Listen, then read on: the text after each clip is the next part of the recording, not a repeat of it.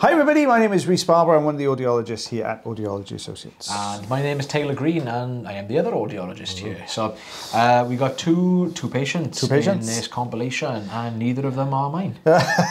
you just you, tell you. Uh, This one here is Katie's. Um, oh, yeah, big stretchy piece of skin. You can see we got here. I thought that was going to be a skin ribbon then.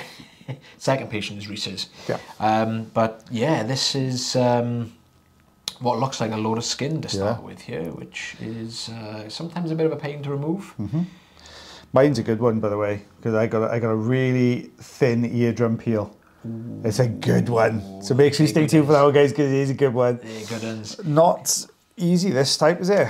Not the widest of ear canals either. Yeah, we've got this soft sort of wax now. That, Yeah. Uh, patient's obviously been using a bit of olive oil, by the looks of it, nice and nice and soft in there If anything, it's kind of bordering on a bit too soft. for suction. Yeah, too soft for suction. It's hard. It, it almost looks like a, a layer of skin, layer of wax, layer of skin, layer of wax. It seems to be sort of like, like this all the way through it, Yeah. doesn't it? Almost like a parcel in a way as well. Yeah, It's, uh, like a like a wax lasagna. Ugh. Just had that image go through it. oh, thank you. horrendous. It would pretty bad, wouldn't it? Oh, there we are. That's come out quite nicely there. Oh, is that is that clean? Oh no. Oh, Oh, that's looking pretty good actually. Yeah, Yeah, it's just a bit dark. good. That one is a bit dark, yeah, but uh, I think the light probably would have uh, got Yeah. it if we went in a bit, a little bit further. A little bit further, we would have been able to see what was going on there. Oh, it looks a little bit drier this side though, by the looks of it. Nicer Doesn't look quite- consistency in there for Yeah, wax. This one, nicer one to remove. Not, about, not sure about the skin though. The skin is when it, when the skin is hard, it's a, it's a bit more tricky, isn't Yeah. it? I I don't know whether that's like a separate piece on the top. Oh, it, oh, it is. Oh, it's oh, not. Oh, it's attached. That's all attached. Oh, that would have been nice because come out like all the Yeah, way just out. like unraveling like a like a reel of Yeah. a reel of skin. It's been a while since I've had a ribbon. Oh, I can't. You know, it's, uh, we're overdue because we haven't had one for such a long time, and they they are. I think they I think they just pip an eardrum peel for me. It's got to be an old type of skin though, isn't it? It's usually like five years plus if you haven't had it done. So if you know you've got a skin ribbon, Anywhere in the country, boy, what could come along? But it, yeah, it was a beastie, wasn't it? Yeah, that's uh, I had a couple of people. I've had uh, I had somebody from Wiltshire the other day. I had two people the Oh. same day. Somebody from Wiltshire and somebody from Exeter came in Oh, wow. one day. Yeah, it was a fair dap from you, in fairness.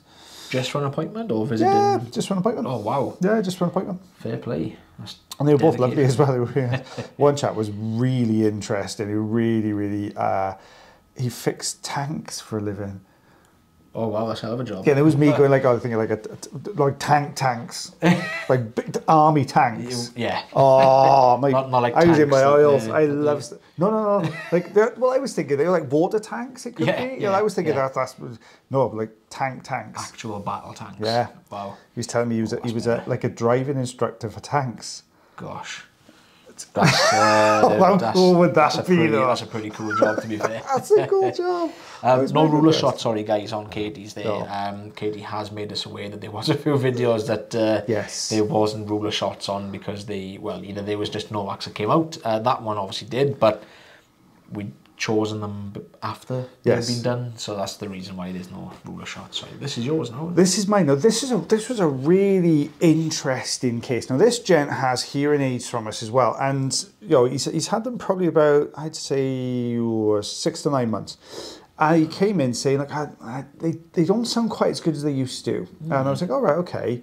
Uh, I had a look in here, and I could see this thin, thin layer, and it would have been mm. really easily missed or misinterpreted as an eardrum, I think. But when you look at mm. it, because it originally looked like it was just a couple of flaps of skin, but there is a heck of a lot of skin in here. Oh gosh, yeah. You see it as it pulls away, and he was like, "Oh my word!" Because he was really interested. 'cause he's, he's actually got a medical background. He was he was a, a a doctor before he retired. So I was ah. showing in the video after, and he was like, "I can't get over that." He's it was so fine this skin. Yeah. He was going, "That has made such a big difference Yeah. to my hearing." uh, with the hearing aids in. He did say when they first had the hearing aids, they were they were amazing. They could hear really, Yeah. really well. You know, great response to them. And then it kind of gradually dropped off over time, and he came in for, for what what we call like a just just just like a, just a review basically. And look Oh. at this, look at that coming away. Yeah, because that, that kind of second layer of skin is all is, is almost going to stop or absorb a lot of the vibration Yeah, from the sound. you got it. So that, that layer of skin is, is going to basically half the amount of sound that that patient is Yeah. getting to their actual eardrum. So yeah, especially when it's all connected from one side to you know all the way around the outside edge. Yeah. It's almost like a f- almost like a like a thinner, floppier version of the eardrum Yeah. that sits in front of it. That's just not really going to. But look at the difference now oh, in that Oh, eardrum. And that was the thing. He couldn't get over how different his eardrum looked. And I was looking at this cycle, and you can. Ooh, is there some, there's something there? Yeah, you- you've just, got- just kind of going. I can see it on the left hand side there, kind of. It just doesn't look quite quite right, does it? And, No. and, and you just think, well, there's something going on. You know, I think this is the beauty of the endoscope. I think it gives us such a clear view. Uh, like I think you would have really struggled because both me and you have both had experience Yeah. of loops, and I think you would have really struggled. Yeah. A to see that first of all if you're using a loop, and, and secondly to actually remove it as well. There's no way you would have done that with loops. I think with a standard otoscope as well, I think you probably yeah. would have even struggled to, yeah. to see that because the, I mean, I, I haven't used an otoscope for a long time, but I think the, you know, the power of the light has probably changed, yeah. you know, since, but um, I, I know certainly some of the otoscopes I've used in the past, the light has been quite yeah, dim and quite poor. Look at this. Look at that though. Look at that. You- that. This was the section you could say didn't look quite right on that left hand Yeah. side of the eardrum there. But look at this pulling now. It's pulling all off the drum as well. So we got the oil in there. Just this just helps to loosen it off that eardrum. You know, Yeah. loosen some of the skin, the dead skin off there.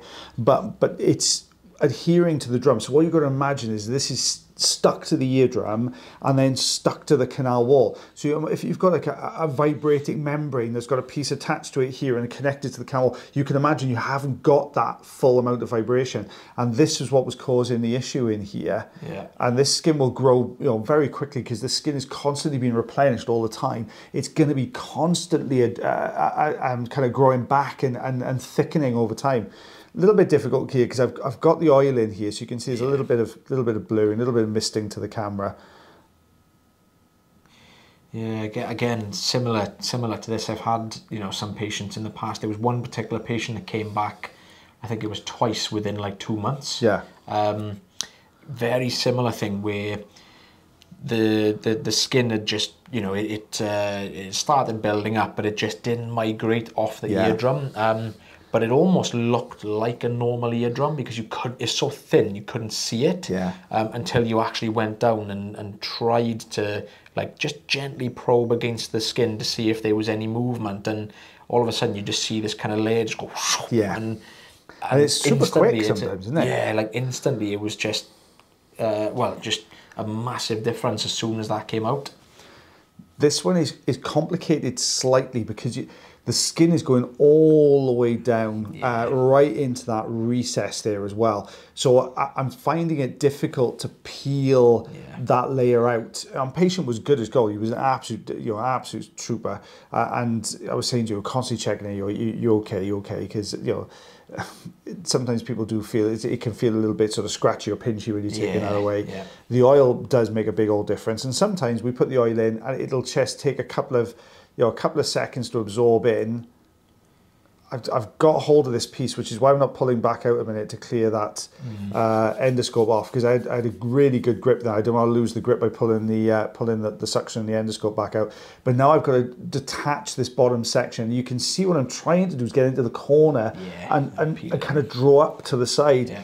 But there's this very loose piece at the front here, and every time I go and try and get a grip, look, Ah, yeah, see how much of it is down there. It's really kind of got into that recess down there. I know it, it, it's it. There's a hell of a lot more than it first appeared to be. It, it just first appeared to be just into it, but look how I, much I that's was, coming away. I was going to say I was, I- that as that pulled forward, you you want to try and hope that kind of stays forward, so you've got enough of a grip to use the forceps. yeah, maybe something like that, just to drop over the top. you can see as soon as you let it go, it just whoops it's just back. naturally trade because this this is keratin, so it's, it's dehydrated dead skin, if you like, um, which makes you because you're left with just the keratin in the cells. It just makes it super tough, um, and, and that's what we've got here. Uh, and it's it, it just naturally wants to form back to its original position all the time, doesn't it? That might work. That might work because that was a good. Ooh, I'm, Oh, there it is. But at this point, I'm quickly see if I can switch back up to the forceps without it moving back. Oh, is that going to be enough to... It's Oh. just look, it's just enough to pull that out. I thought I was going to snap off. Yeah, I, I, you know, the, the, the, when I show the Jenks, sometimes we will show the videos after just so you can see what came out. He was like, fair play. That's some steady hands to hold that in there and get it out. On on the paper, it looks really poor. It's pathetic. It? It looks flat effort you put in. it's the amount of effort that took to get out. Uh, you know, it, it just takes a little while to get it going, but they are still one of my favorite things to do. I do love a good peel. It's good, uh, guys. I forgot to say to you, if you don't, if you do enjoy the videos, you can always like, heart, share, follow, and subscribe for us. That'd be absolutely fantastic. If you really enjoy the videos, we also have a membership program as well. You can join that, and you'll get even more videos every single week. I think it's two more days worth of videos every week.